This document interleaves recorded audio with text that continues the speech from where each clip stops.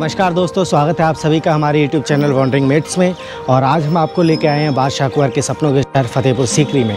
तो चलिए, दिखाते हैं आपको। दोस्तों, जब भी आप फतेहपुर सीकरी आएँगे तो आपके सामने सबसे पहले होगा बुलंद दरवाज़ा, जिसकी ऊंचाई है 280 फीट। और ये शायद दुनिया का सबसे ऊँचा दरवाज़ा है। लेकिन यहाँ तक पहुँचने के लिए आपको चढ़नी होंगी 52 स्टेयर्स तो चलिए, चढ़ते हैं।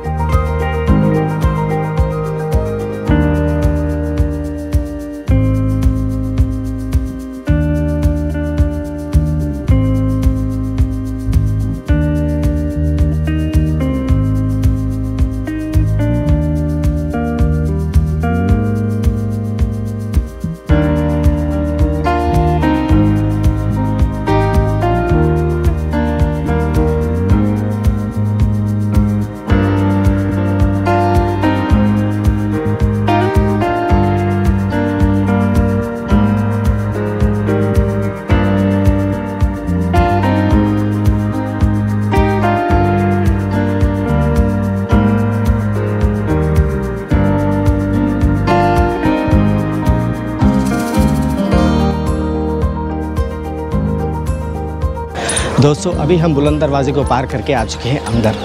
और फतेहपुर सीकरी के बारे में एक कहानी है जो बहुत ही प्रचलित है। कहानी ये है कि फतेहपुर सीकरी कहे जाने से पहले यहाँ पे सीकरी नाम का एक गाँव हुआ करता था, जहाँ पे एक सूफ़ी संत रहा करते थे, जिनका नाम था शेख सलीम चिश्ती। उस समय आगरा में बादशाह अकबर का शासन था और अकबर को कोई औलाद नहीं थी। तो अकबर उन संत के पास आए, जिनके आशीर्वाद से उन्हें एक बेटा पैदा हुआ, जिसका नाम बाद में रखा गया जहांगीर। तो तभी से हर रोज़ यहाँ पे हज़ारों की संख्या में लोग आते हैं, दरगाह पे अपनी मन्नतें मांगते हैं और उनकी मुरादें पूरी होती हैं। तो आइए, चलिए, अब हम आपको दिखाते हैं शेख सलीम चिश्ती की वो दरगाह। चलिए।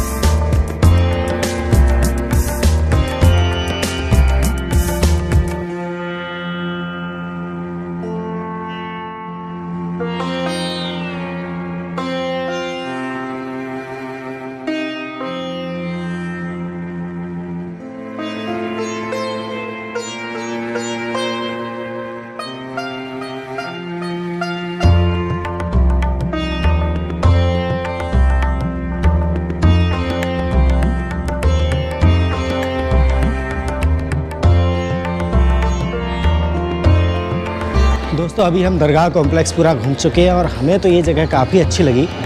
यही वो जगह है जहाँ पे हम खड़े हैं। यहाँ पर कई फ़िल्मों की शूटिंग हो चुकी है, जिनमें से परदेश भी एक है। और ये जगह इतनी अच्छी है, अगर आप यहाँ आएँ तो कम से कम 10-5 मिनट यहाँ बैठिए और इस जगह का आनंद उठाइए।